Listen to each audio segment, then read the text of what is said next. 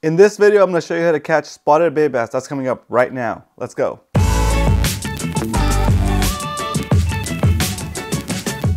Hey, it's Roman Castro. Welcome back to the channel. If it's your first time here and you enjoy inshore bay fishing, consider subscribing. Hit that bell notification so you don't miss anything. In last week's video, I caught 100 spotted bay bass in one session. This video is a breakdown of the techniques, the approach, the baits, and everything I found helpful in accomplishing that challenge. I'm gonna break this video down into five parts. The five parts are tackle, cast and retrieve technique, fish search pattern, bite detection and hook set advice, and lure tips. But before we get into that, I'm gonna give you a disclaimer. I'm not a guide or a professional angler. I'm just sharing what I know and what worked for me. I realize there's more than one way to catch a spotty. This is just how I did it. I'm not sponsored or paid or compensated in any way for any of the gear I use to make my videos. I pay regular price for the gear I use so I'm not beholden to a brand or a sponsor. This is the best way for me to have the freedom to fish whatever gear and lures work for me. All right, let's go with the basic tackle. So the rod I use is a Shimano Convergence graphite rod six feet by six feet and six inches. So rated for eight to 15 pound line and a lure weight of 3 16ths to 3 quarter. It's a medium heavy powered rod with a fast action tip. The rod cost me about, I think like 60 bucks. It's cheap rod. Um, I don't think that it's in production anymore, but you could find the equivalent of this rod with those uh, with those specs. The reel is a Shimano Solstice 2500 FI. It's a cheap reel. It cost me like 30 bucks at the time, and I think you get it now on eBay or on uh, Amazon for like 26 bucks. It comes like in a little plastic container and I've had this reel for like almost four years now, five years, and I've never serviced it, and it still works awesome. Um, yeah, it's it's a really affordable combo. So this whole combo probably costs like under $100, maybe 120 bucks. Um, and I have two of these setups. This one, my main, one, I have it set up with 10 pound, and then from there I go to a 10 pound fluorocarbon leader, just so it makes it harder for the fish to see. And that 10 pound fluorocarbon leader goes to the tackle that I'm using for the for that I use for most of this video, which is a Z-Man Ned rig. So let me show you that up close. Here is a Z-Man Ned rig without the lure on there. As you can see, has a little a little keeper here. This one's bent because I use it so much. This is the one I actually used in the video. It's thin wire. We'll talk a little bit more about that in a second. This is a Z-Man uh, TRD bait. It's, it's, this is a mud minnow color. It's super stretchy, which is good. But there's a little bit of a drawback on that, and I'll tell you guys more about that in the last part, which is lure tips.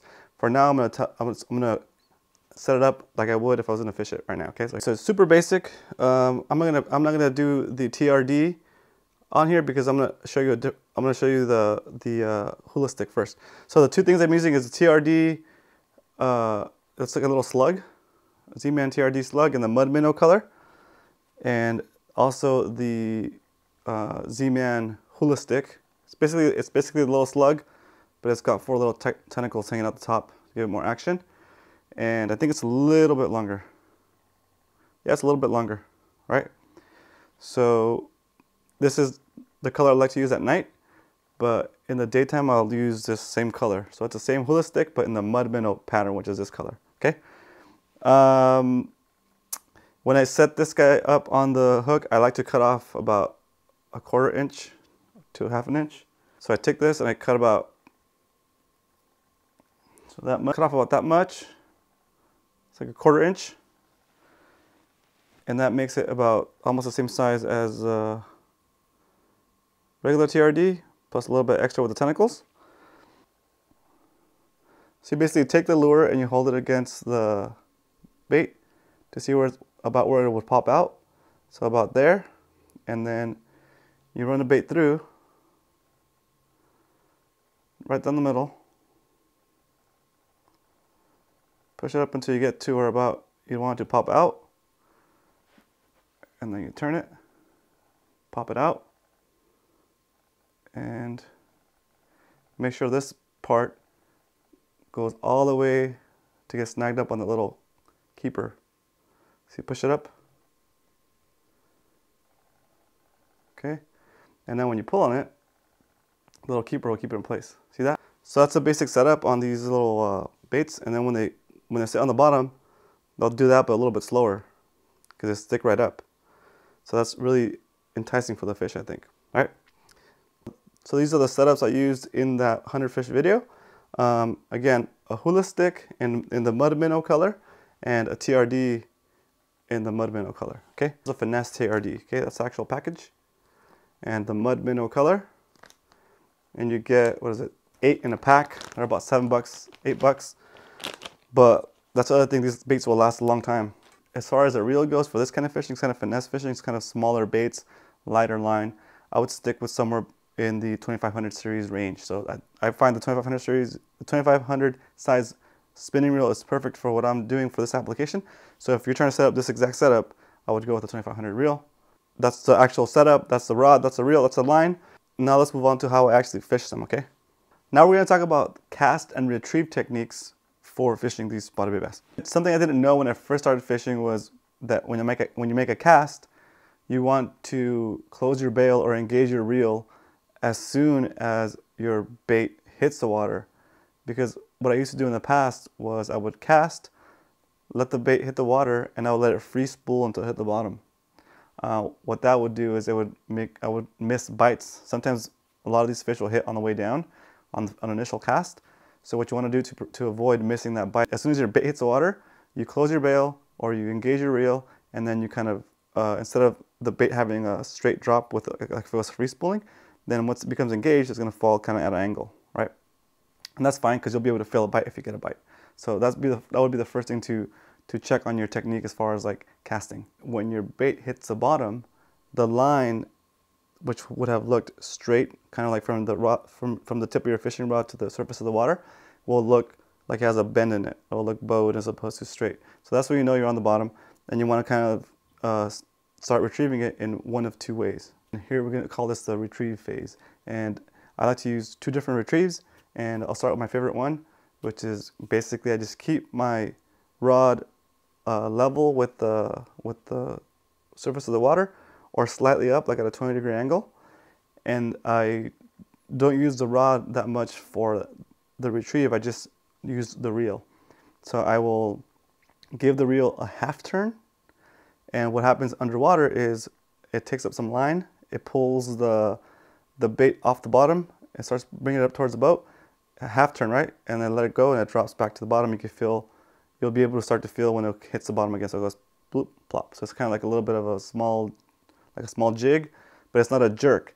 It's a reel. So you kind of, you're, you're half, you do a half crank, you bring it up and let it drop again, right?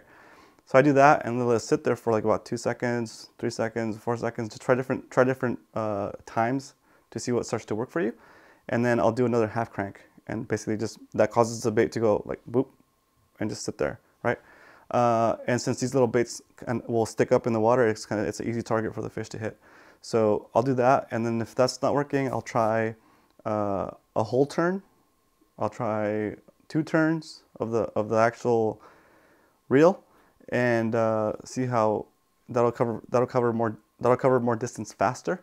But if I want to slow it, slow fish it, slow fish it, then I'll do a half turn and just kind of like really cover that area, let the fish really take a lot of swipes at it, right? You'll feel the difference between you, your little lure hitting the bottom and fish nipping at it. So we'll talk a little bit more about that in the hook set portion of this video. The second retriever I like to use is one that uses the actual rod and the reel combined. Um, this is, um, I like to use this one when it's when there's more grass and, and stuff's getting more snagged up because it because it allows me to use a rod to pull it up as opposed to just uh, the the reel to pull it at that same angle. Okay, so when I feel there's a lot of grass on the bottom and it's and I'm, I've been snagged or I'm getting snagged a lot, a lot, I will do the initial uh, action on the lure by lifting my rod tip, kind of pulling it up, and then letting it drop. And as it's dropping, I'm taking up the slack with the reel. Okay. So I do that as opposed to just slow winding it and letting it drag where it is. This angle seems to be seems to help a little bit towards because I think the, the bait is going from getting dragged to being popped up. Right? That's the way I envision it. I'm not sure if that's what's actually happening under the water, but that's what seems to be working for me, especially for the, for you guys that asked about how I don't get snagged with uh, with a bare hook like that. Cool. So those are the two techniques I like to use. Another thing that's important to note is uh, depending on how deep it is, I don't work the last, and by, and by work, I mean I don't put action into a lure for the last quarter or one third of the cast. So I'll cast out, I'll do the half turn or the one turn, wait, one turn, wait, or the half turn, wait, or the, or the two turns, wait. Uh, I do that for uh, the first two thirds to three quarters of the cast because the last quarter or the last uh, third, depending on how deep it is, uh, is basically the lure coming up to the boat, right? So you're kind of you're, you're not on the on the bottom anymore. So sometimes the fish will get it as it starts to come up off the floor because uh, they've been following it. But for the most part, I don't get hit on the way up from the bottom to back to the boat to get ready to cast. So once I get to that point where it's like the lure is close to me or almost under the boat, I just bring the lure right up and, and set up for my next cast. That way it saves you a little bit of time. And if you're saving yourself a little bit of time on each cast, it adds up throughout the day. So that's just another tip. Try those out. Let me know how they, how they work out for you. And again, these are all just like frameworks for you to experiment with, right? So try those things, adjust how long you let it sit there, how many cranks you give it, how high you lift up the rod tip. Normally on the second type of, of uh, retrieve, I go from like 20 to, I go from zero to 20 degrees uh, to begin with, and I take it up to like, I don't know, like 45 to 80 degrees. And uh, just depending on how much I want the bait to move, right? If I want to, if I want the bait to move a little bit, just to go like this, bloop, then I would just do like maybe like a little, like a little jump and then reel it back in. If I want the bait to just like, if I'm, if I'm in grass and I feel like I'm gonna get snaggy and I want to give it like a big jump, then I'll put the rod tip all the way to like maybe 80 and then it pops off the whole section and it goes off to the, it's kind of like you have to use your lure to detect where the grass is and stuff. It's kind of like reading braille, okay? So that's the, those are the two techniques that I, that I would start, start you off with and adjust as needed, okay? So remember, in the grass, you're gonna pu pull it up and take up the slack. When it's not so snaggy and it's mostly on, on, on sand, little rocks and stuff, then I would go with the first technique, which is just to keep it keep the rod at like 20 degrees or level, and just use the use the reel to to um, bring it bring in the the lure. And if you give it that good 20 degrees, it'll be easier for you to detect the little bounces that you get from like hitting rocks, or going from rocks to like to grass, or, or like poking it through grass. It's it's uh, you're kind of also working on your on the feel for the bite, right?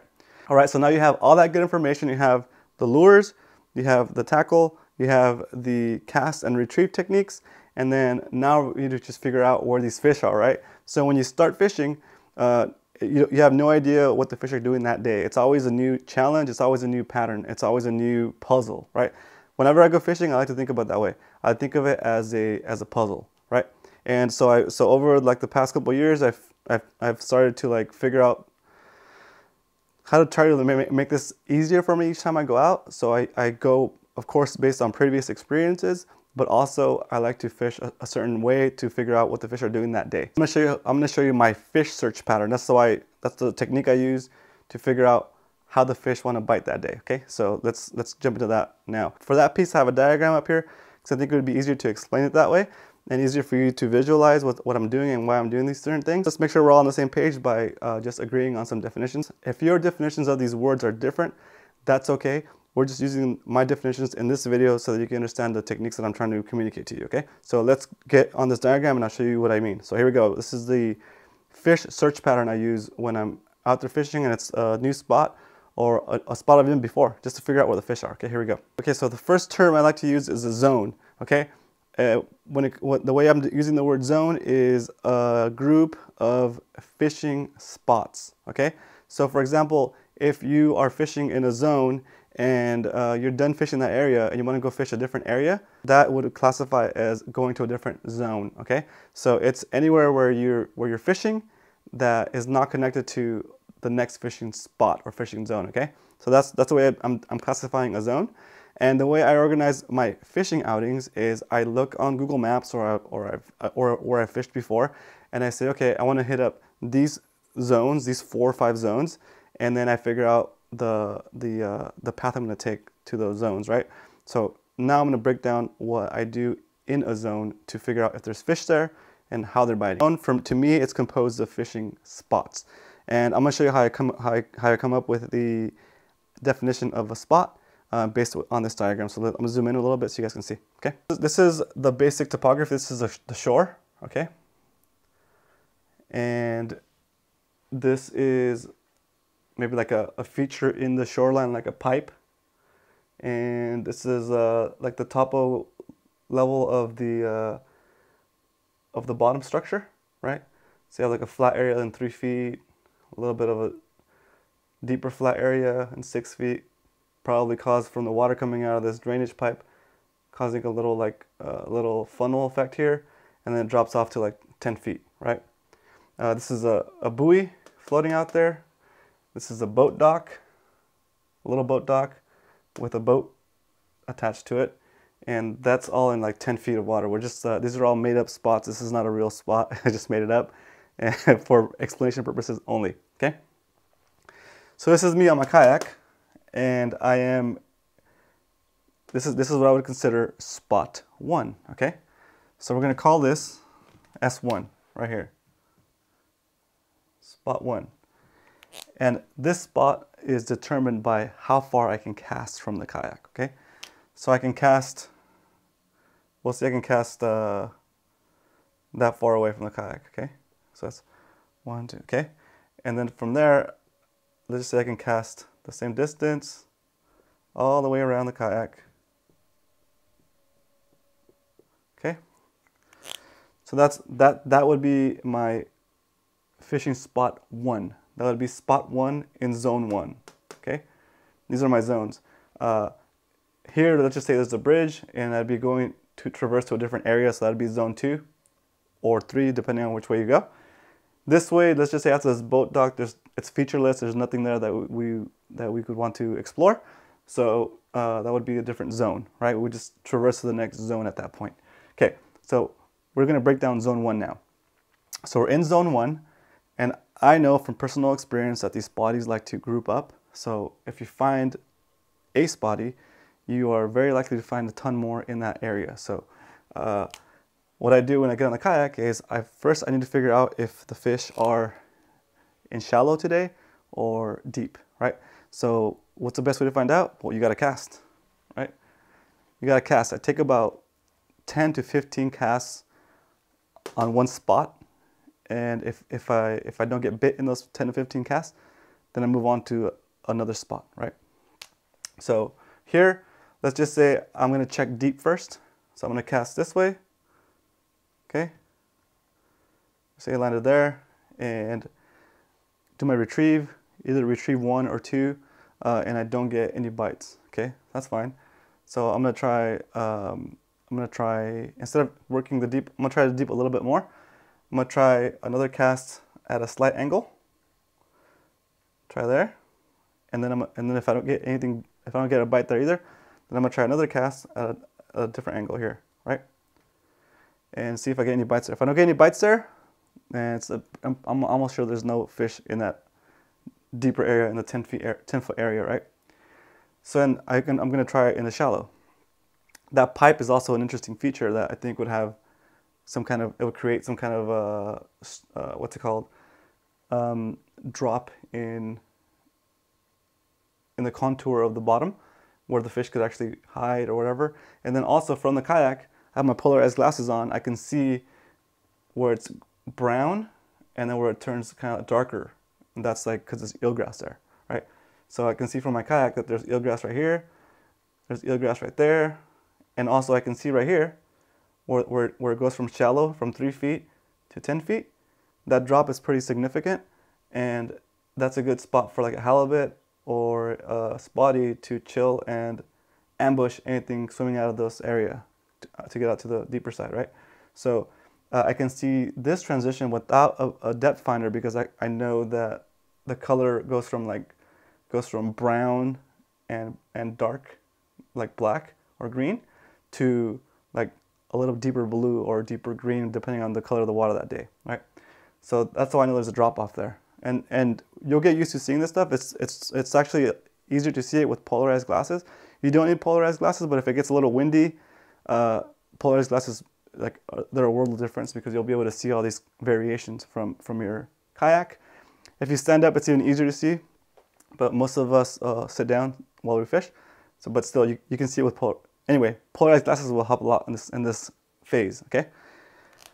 So we, we, uh, we didn't get anything in the deep side, so we're gonna cast on the shallow side, okay? So we're gonna cast towards that feature because it's an interesting thing, right? So we cast that way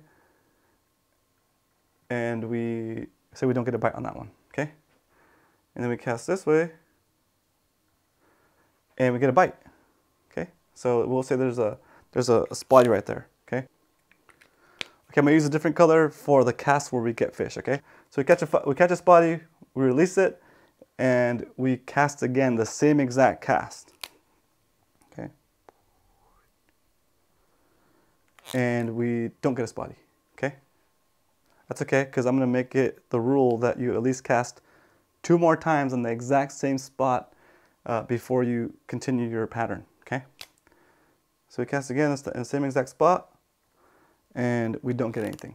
We're gonna continue our pattern because we're just uh, one fish in.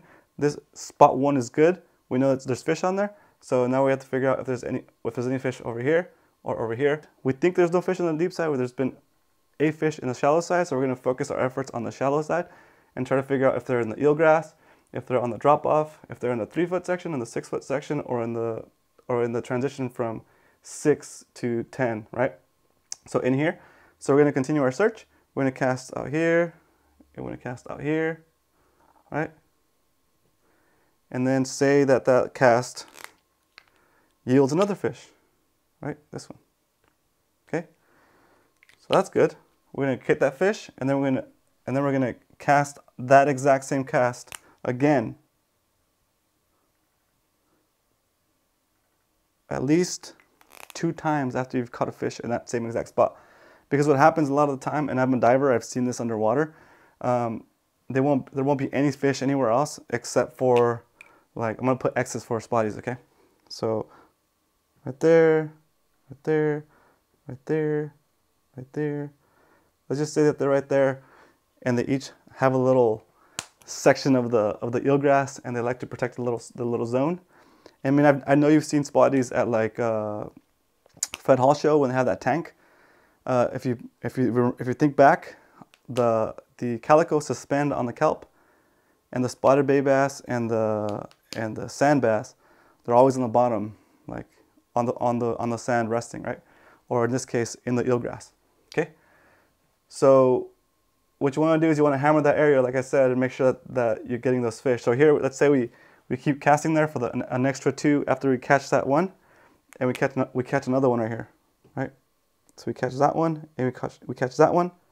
There's one, there's two, there's three in that little section, and there's still some back here that haven't seen our lure, and they don't know what's going on right now. So what we need to do is just finish our pattern here and be done. So we, we, catch, we, catch, we catch the last one, we catch the third one here.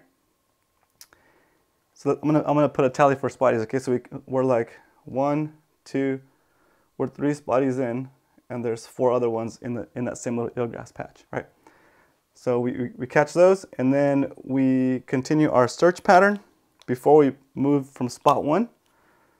And go here, and there's no fish there. Go here, there's no fish there Go here, there's no fish there. Go here, there's no fish there. Okay, so we've done enough. This is spot one. We're gonna circle spot one with the blue. Here we go. Okay, so that's spot one. And now we're gonna move to spot two, okay? Since it seemed like most of the fish were coming from that side, and again, don't get me wrong, there's probably fish out here too, that we don't know about because they're not within our spot one range, our casting range. But we got to go somewhere, right? So it's right now it's more likely for us, it's, it's better for us to go uh, this way to see if there's any more fish on that side, right? So what we're gonna do is we're gonna move to spot two, okay? Let me move this 10 foot marker here. We want spot two to overlap a little bit with spot one. We're gonna go, we're gonna move the kayak as far as we can cast, okay? So right on the edge of spot one. Once I move to spot two, I like to start with the same angle cast of the last fish I caught, okay? So look at the angle of these fish, right? So my first cast for my new spot is gonna be uh, the same angle as those ones, okay? So I'm gonna try to cast like this, okay? I do my cast and, and, I, and, I, and I don't get any bites, okay? Um, the reason I'm casting shallow is because the, the fish seem to be on the shallow side, okay? I'm not gonna focus on the, on the deep side because I, I haven't caught any fish on the deep side. And yeah, granted, some of you can say that I'm more likely to catch it on the shallow side because I'm casting more towards the shallow. Um, it's just trial and error, okay? So I cast there in the same direction as that and I don't get a fish, okay? So then I, I, then I go back to my regular pattern, which is I'll fish, I'll cast towards shore, like straight up, and then boom, that guy takes it. Now I'm bit, okay? So that's another fish. And I, since I got bit there and I caught a fish, I will cast there again two more times at least? So I cast again, and then nothing happens. Let's just say I put a little bit of extra oomph on the, on the next cast and I get it close enough for that guy to get interested in it and he comes and sees it on the drop and just attacks it, okay? So that's another fish on that same spot. That resets my my my counter. So now since I got since I got since I caught another fish, I have to cast in the same spot another two times, okay? That's just my rule of thumb. I find that it works for me. Just, that, that way I don't miss any fish, right? So I cast the same spot again two more times. And again, it doesn't have to be the exact same spot. You could be off by a little bit, but just in the same general zone, right? There's another cast, another cast, and I don't get any fish there, okay? That's it. It was just those two. It was just that one. Was it one, two, three, four, five? So that's two. So five. Oops. Five. Okay. All right. So that's that's uh, more fish. So then there's no more fish after the last two casts after after so after I caught after I caught the fifth fish, I casted two more times and didn't catch anything else. So now we got to continue our search pattern. Okay, we got to we got to cast that way. Got to cast that way to where I was, like basically fishing under where I was, and then uh, make sure you cover all these zones here, right? Remember, you got to do at least uh, was it 10 to 15 casts per spot? And then just for because because I can see the the ground because I can see the shoreline turn here then I know there's a drop here. I can see the eelgrass there. I want to cast towards the eelgrass and I want to fish this this like gradual drop off right? And then because I've uh, I focus so much on the shallow side and this is kind of shallow too now because it's, it's part of the drop off the deep is over here right so I want to cast here too and then I'll cast a couple, one time or maybe two times towards the deep just to make sure I, I kind of uh, fish that whole zone, okay? So that's, that's spot two, okay? So spot two and spot one overlap and all this middle part overlaps. And that way you don't miss any, any fish in that, in that area, okay? Okay, so now we're gonna, so now we're so close to the edge right? And there's fish we might have missed over here, like really close to the to shore. I have the choice of either uh, going from from spot two and making spot three like up here, right? I can make spot three like right here. Make that spot three, and now I'm casting almost all the way to shore, right? But I do my pattern again. Um, when I caught a fish on this one, I cast it straight up and I caught a fish. So I'm still gonna do the same pattern. I'm gonna I'm gonna cast. I'm gonna cover my range. I'm gonna do at least 10 to 12, 10 to 15 casts in that spot. So let's go one, two, three, four, five, six. And let's say on the sixth cast here, right? There's that one spotty that we missed earlier. It's kind of close to the boat, but there's another spotty, okay? So let's, let's put another tick mark down here. And then, uh, let's see, since we got a spotty there, that means we have to cast at least two more times in that same exact spot, just for the sake of not missing any fish. And then we kind of go up past it, your normal cast, and then boom, this other one sees it passing by here, and he bites it. So that's another another fish, right? Right there. So we'll add another fish here and that is basic that is the basic pattern I like to do if uh, and I kind of this is this is a way for me to follow which way the fish uh, are going. This is kind of a way for me to break down and see, kind of zero in on the fish, right? And it's it's tedious, but it I mean, it works. Okay, let's now let's pretend that we didn't get any fish at all here. Okay, and on here or here. Okay, so we caught these couple fish here. We moved over here and to to spot number two, and spot number two didn't get us any fish. Okay. So instead of going, instead of doing spot number three up here, I would have done spot number three back here because there's a lot of interesting stuff back here. There's a buoy and there's the other side of this little V drop off and there's eelgrass. I can see it from the surface, okay? Or I can see the color change between brown and green, brown and like dark, either dark brown or dark green, whatever the watercolor is, okay? So let's just do alternative spot three, okay? Because spot two didn't yield anything.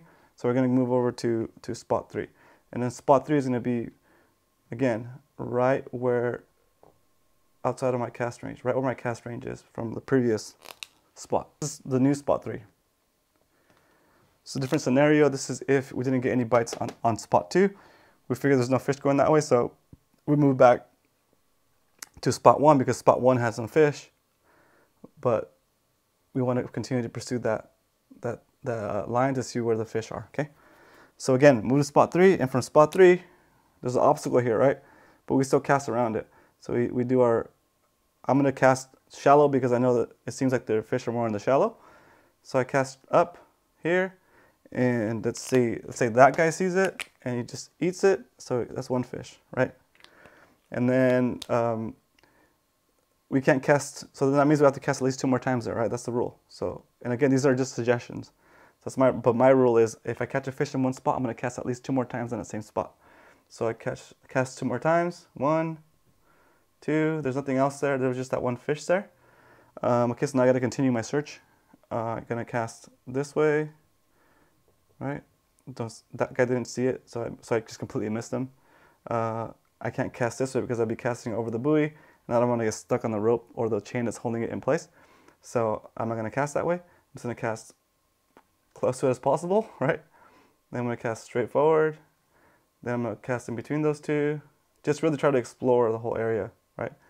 And I know this way is kind of the deep, so I'm just going to do like a Hail Mary cast and just kind of go into the deep.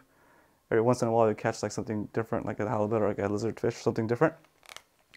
But there, that's that's my zone. Uh, that is my zone three, my new zone three here, right? And so as you can see, like as you work, it's not not not zone. I'm sorry. That's my new spot three. And as you can see, as you as you fish those spots and like really explore those spots, you end up covering the whole zone, right? Um, if you wanna, if you see like right here, you see it kind of drop off into the deep, and there might not be anything here, right? But there might be some underwater structure that you don't see from the surface. There's no way of knowing it's there unless you have a sonar, and I don't fish with the sonar for now. For spot number four uh, because there's a, there's some good uh, structure there, right? So I like this spot because there's a drop off.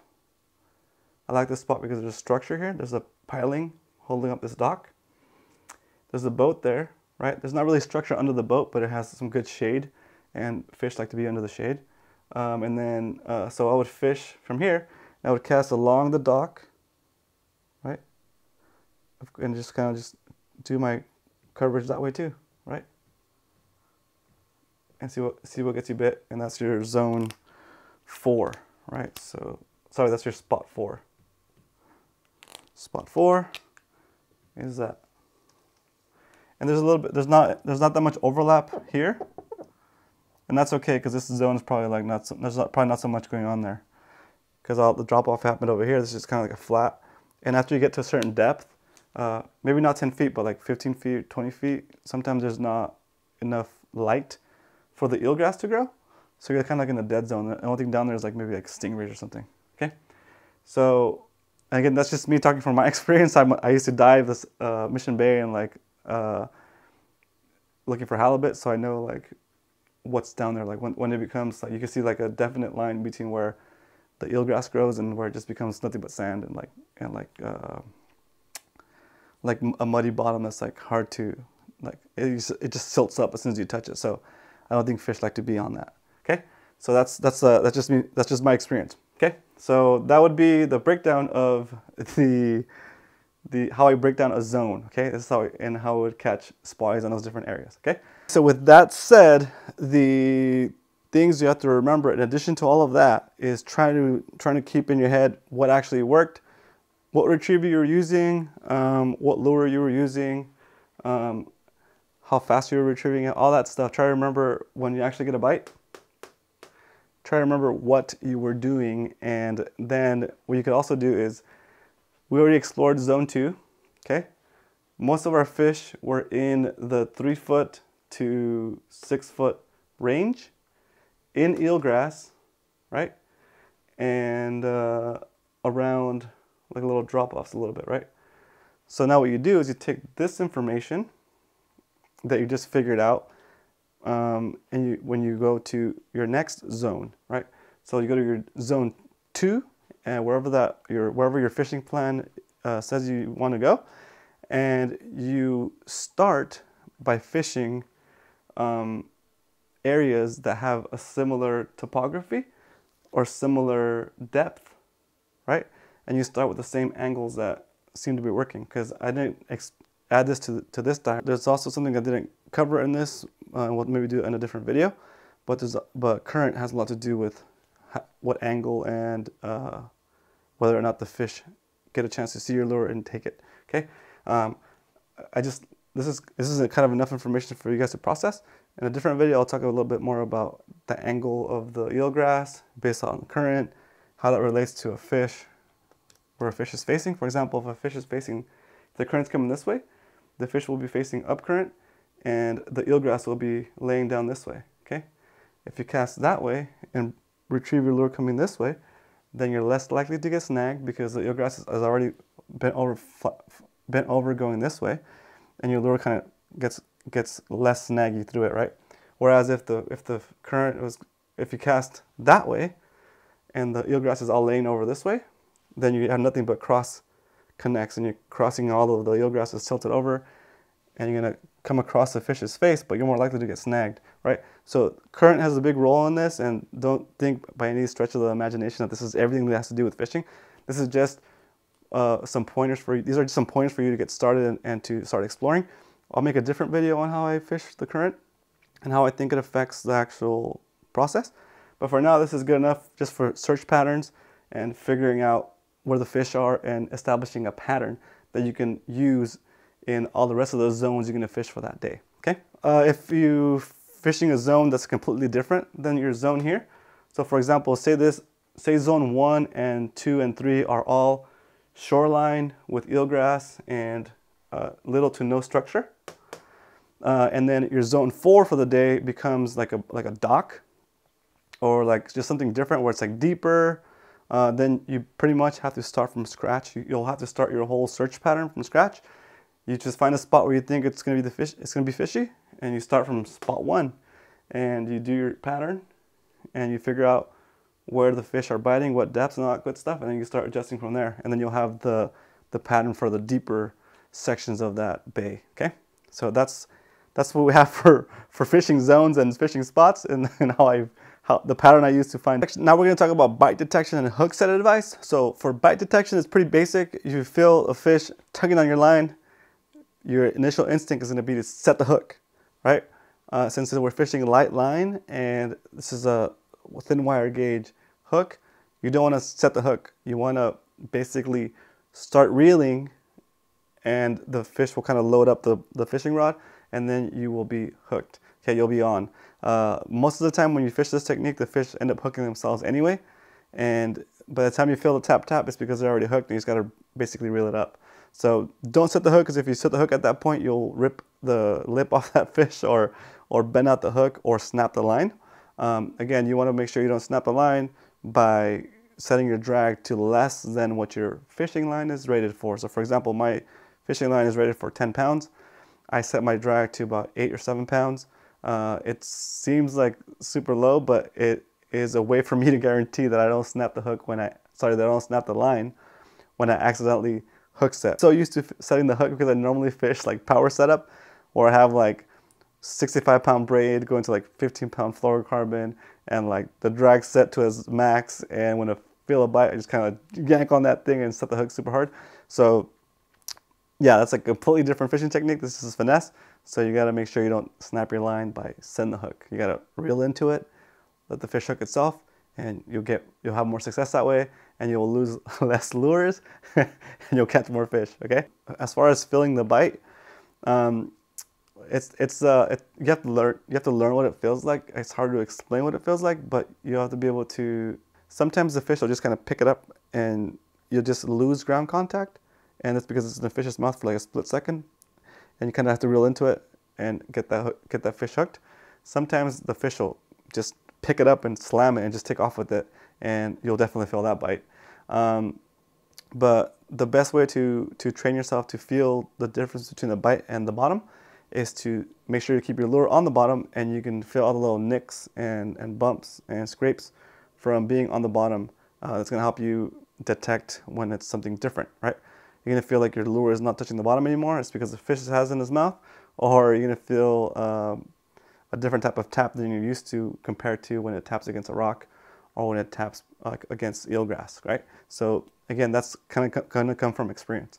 Um, okay, so that's uh, let's move on to the, the final section of this video, which is the lure tip. With this kind of lure, uh, I found that the, it's the only drawback uh, that, I, that I found on this setup is that when you catch about, I don't know, like 7, 10, 15, 20 fish on one setup, what tends to happen is the way the fish hit the lure, um, they end up stretching it and the bend of the hook ends up ripping part of the bait. Let me show you what it looks like. So this is the actual Ned rig. This is a 1 5th of an ounce head.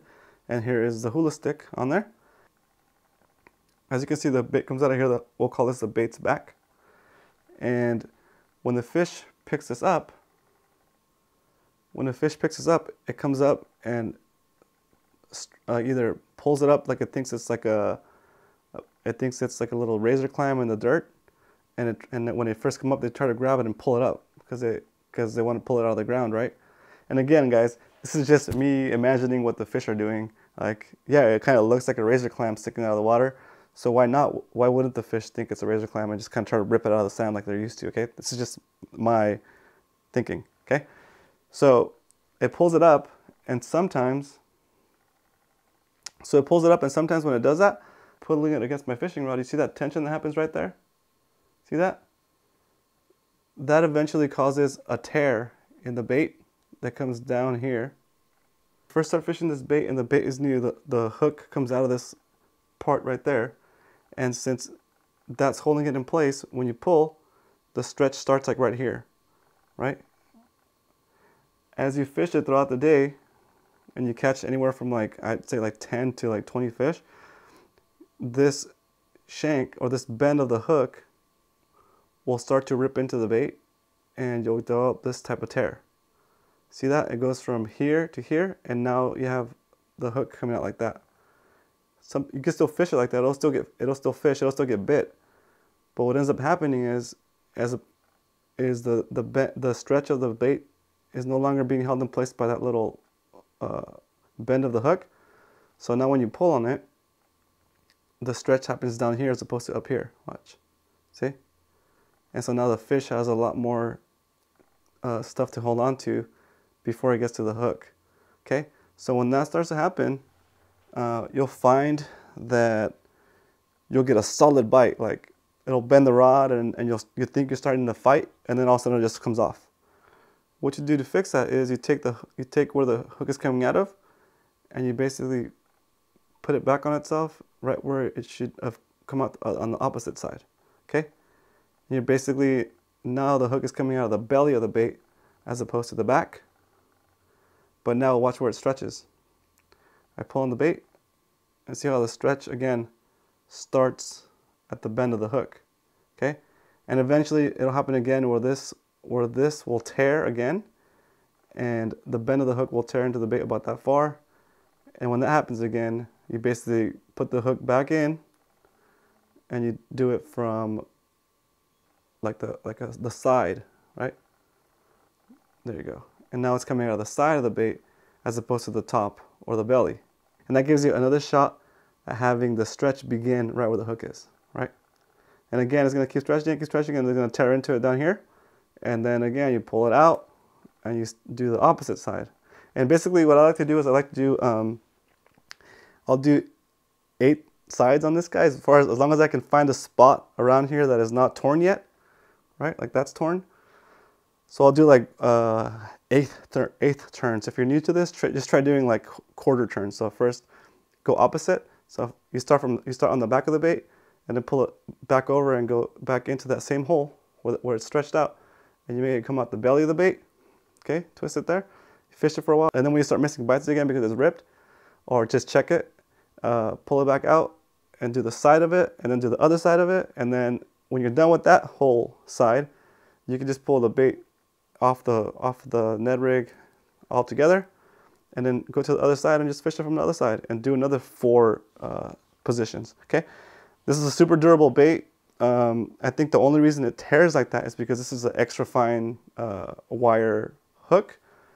There's another there's another hook that um, there's another Ned rig that Z-Man does this is also a Z-Man Ned rig there's another one called the Power Finesse uh, Ned rig and the, and the hook is slightly thicker and a little bit taller. And I think that one's less likely to tear your baits like that. But this is just uh, something that I found when I was trying to catch the 25 spotted bay bass before I did the 100 spotted bay bass. I missed like, like it's like seven to eight bites in a row, like solid bites that bent the rod. I was fighting it and then it just came off, right? And then uh, after looking at it, I realized that's what it was. Uh, the little little uh, bait keeper keeps the head of the bait on the Ned rig, but the stretch again starts at the starts so close to the base of the Ned rig that the fish has too much slack to play with. Right. So same thing happens with the finesse TRDs and the hula sticks, uh, but same thing. Just like hook on the belly, hook it out the top, hook it out the side, hook it out the side, and then when that's all tore up, flip it over and again start from the back, the belly, the side, the side. And I find that I could get like about, I don't know, like anywhere from 10 to 20 fish before it gets uh, tore up that I have to move it. And then, so if you think about it, like that's 10 to 20 fish uh, four times on each end. And then 10 to 20 fish four times on this end. So you could definitely do 100 fish on one lure if you don't lose it, right? Uh, for the 100 spotties video, I did I lost two Ned rigs, and so two of these setups, and I completed the challenge with this third one. So this is the actual one that I fished to complete the challenge. One I got one I got anxious and I and I set the hook too hard before I had adjusted my drag, and I lost that one. Uh, the second one I I pinned it to a to a bat ray and it just didn't want to come up. it was like it was impossible. And the third one was well, I, I kept. I made it all the way the rest of the night with the third one. But yeah, I don't think it was. I, I if I would have, uh, I think my record on one of these is like around 60 fish. So I had I had gone through one end. I was maybe like eight positions in because I turned it a quarter of a turn each time, and then I was getting ready to flip it over and I lost it on that next cast. So these things last a long time. As I said earlier, this video is not sponsored, and uh, I buy all my gear myself with my own money, and. Uh, I do make a little bit of money on this channel and it's through uh, from people that enjoy my content and think that I'm bringing value to them and they want to return some of that value to me in the form of either contributions to my Patreon, which I'll put a link for up here, or they visit my shop and support me by purchasing some of the products I put together for other anglers that enjoy spotty fishing and halibut fishing. If you want to check out those designs and, and uh, the products I have available for you, go to shop.romancastro.com. And if you want to support me on Patreon, go to romancastro.com forward slash Patreon. That money, of course, gets used towards replacing equipment, uh, buying tackle, and just uh, being able to justify spending so much time making these videos and teaching you guys what I'm learning. So if you want to support, those would be some cool ways for you to do it. There's also a bunch of links in the description of this, of this video where you can see other ways to support the channel. If you want to become a better angler and catch more fish, consider subscribing. You can do so by clicking the round icon right here. I'm also going to put a playlist of all of my spotted bay bass fishing videos where you could get even more information for you to become a better angler. Thanks for watching. Have a great day and I'll see you on the water. Woo!